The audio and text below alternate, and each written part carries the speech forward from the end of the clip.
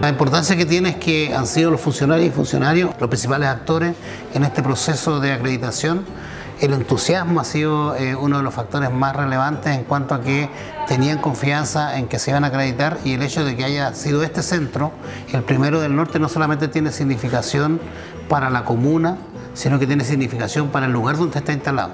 Este es un centro de salud que siempre ha estado eh, en, una condición muy especial, que está con una infraestructura que, las que uno observa, pero que la gente puede sentir en, Rosario que los 6.500 usuarios que concurren a este centro pueden tener la certeza de que la acreditación de calidad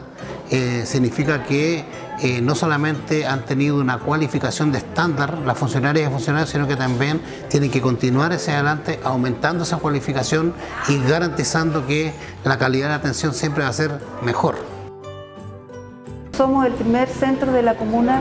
de la comuna de Copiapó, de la zona, de la región, desde el norte de Chile. Entonces, igual nosotros somos los primeros, esperamos que nuestros compañeros igual, Juan Martínez y los que vienen detrás también se acrediten. Entonces igual nos sentimos muy orgullosos representándolos a ellos y por supuesto estamos llanos a compartir todo nuestro saber, todo nuestro esfuerzo con ellos y también con la comunidad.